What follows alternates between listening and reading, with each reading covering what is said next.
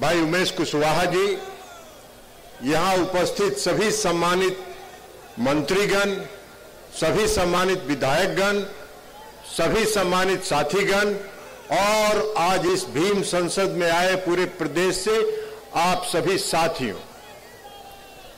माननीय मुख्यमंत्री जी 18 साल से बिहार में शासन कर रहे हैं। और 18 वर्षों में उन्होंने एक ही नारा दिया है। न्याय के साथ विकास। और न्याय के साथ विकास का मतलब है कि जो समाज के सबसे पिछले पैदान पर खड़ा है, उसको आके लागे लाकर मुख्य धारा में शामिल कराना, यही उनका संकल्प है। और इस संकल्प को, इस संकल्प को 18 वर्षों में माननीय मुख्यमंत्री जी ने सर ज़मीन पर, धरातल पर उतार के दिखाने का काम किया है। आप बाकी तो बातें छोड़ दीजिए। समाज के हर तबके के लिए, किन तबकों के लिए क्या किया, वो माननीय मुख्यमंत्री जी बोलेंगे, उस पर चर्चा करेंगे। लेकिन अभी ताज़ा ताज़ा बिहार में केंद्र सरकार की इच्छा के विपरीत जाकर सभी दलों के समर्थन से माननीय मुख्यमंत्री जी ने बिहार में जाति आधारित गणना कराया। और जाति आधारित गणना करा के समाज के जितने तबके के लोग जिस संख्या में थे, उसके हिसाब से उनको आरक्षण देने का काम किया।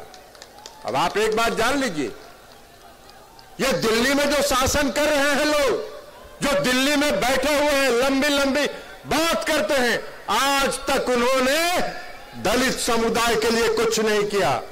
2014 में उन्होंने वादा किया 2014 में उन्होंने वादा किया, दो करोड़ लोगों को रोज़गार देंगे। अगर दो करोड़ लोगों को रोज़गार प्रतिवर्ष दिए होते तो बिहार के भी दलित समुदाय के 10-20 लाख लोगों को रोज़गार मिला होता। एक रोज़गार एक रोज़गार नौ वर्षों में उन्होंने नहीं देने का काम किया। कहे कि 15 लाख रुपया काला धन लाएँगे, सबके खाता में 15 लाख 20 लाख पहुंचाएँगे। एक रुपया काला धन नहीं लाया उनके पैर के नीचे से इस देश के पूंजीपति काला धन लेके विदेश चले गए। ये है इनका शासनकाल। ये है इनका शासनकाल। और आज भी आज भी मैंने देखा मैंने देखा कल किसी भाजपा के नेता का। वो कह रहे हैं कि माननीय मुख्यमंत्री जी ने जो नई आरक्षण व्यवस्था लागू की है, उसको कोर्ट में चुनौती देंगे। आरक्षण विरोधी है केंद्र की सरकार। मोदी जी की सरकार आरक्षण विरोधी है, आरक्षण को समाप्त करना चाहती है। और मुख्यमंत्री नीतीश कुमार जी, जिसकी जितनी आबादी है, उसको उतनी हिस्सेदारी देने के लिए कृत संकल्पित है। तो इसलिए आपको तय करना है, सजग रहना है। और 2024 के चुनाव में भाजपा मुक्त देश का निर्माण करना है, भाजपा को इस देश से बाहर निकालना है। और आरक्षण व्यवस्था और जो गरीबों का हक है, उस हक को कायम रखना है। यही आग्रह और अपील आज के इस भीम संसद में आपसे करते हुए हम अपनी बात समाप्त करते हैं। बहुत बहुत धन्यवाद। क्या आप अपने माता पिता बनने का इंतज़ार कर रहे हैं? ओएसएस फर्टिलिटी ने लगभग नब्बे हज़ार जोड़ों के जीवन में खुशियाँ भर दी हैं। आज ही eight nine two nine seven double five one zero one आरोप कॉल करें। ओएसएस फर्टिलिटी के कम लागत वाले आईवीएफ उपचार की सहायता ऐसी अपना सपना पूरा करें और सभी को खुशखबरी दें। पनोरमा ग्रुप जो सोचता है वो करता है। ये लो मुँह मीठा करो। आज मैंने अपना जॉब छोड़ दिया। अब हम पूर्णिया वापस जाएँगे। जॉब छोड़ दिया है?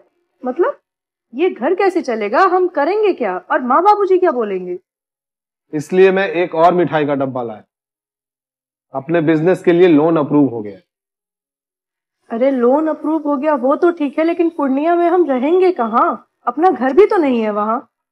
इसलिए तो एक और मिठाई का डब्बा अलग से लाया हूँ। हमने पूर्णिया में घर ले लिया पूर्णिया के ई होम्स पैनोरमा में।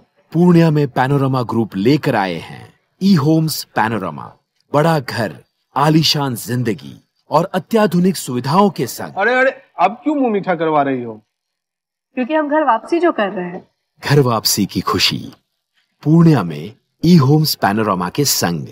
E Homes Panorama luxurious lifestyle redefined